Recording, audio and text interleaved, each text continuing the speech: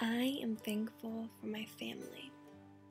Even though they annoy me, I am blessed to have caring parents and siblings and aunts and uncles. And even though sometimes it can get crazy, I'm lucky. There are some people who don't keep in contact with their parents, who are on bad terms. There are some people who don't even know who their parents are. And I, I feel so, so blessed to be in a loving, loving family.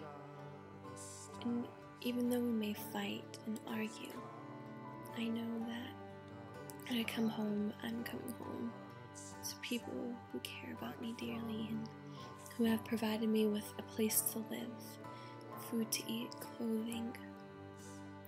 They've provided me with protection and most importantly. I know that they're there for me, and that's something that doesn't come cheap. I mean, my parents have had to sacrifice a lot for me and my my siblings to be able to go to a nice private high school, middle school, and now going to college with three children. They've helped support us, and they're amazing. Each other for 25 years, 26, 27 almost, I think. And I'm thankful to have parents who are still together. And, and to have a stable home full of crazy aunts and uncles and, and animals.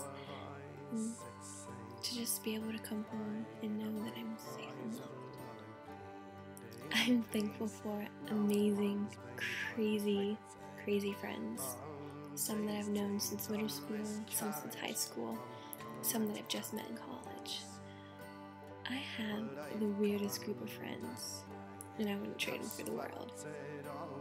They've helped form me into the person that I am, and their friendship means the world to me.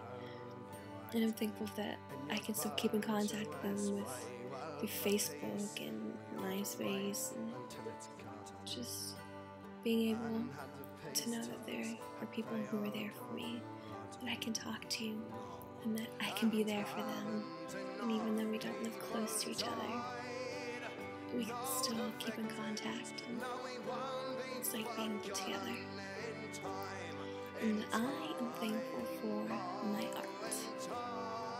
To be able to be in theater and to have an amazing job where I'm not stuck in a cubicle or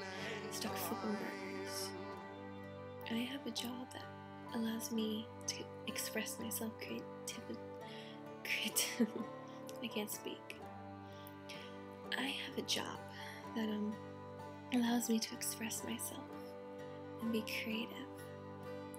And I'm not stuck working crazy hours and doing something that I'm not passionate about and I'm thankful for that. What are you thankful for?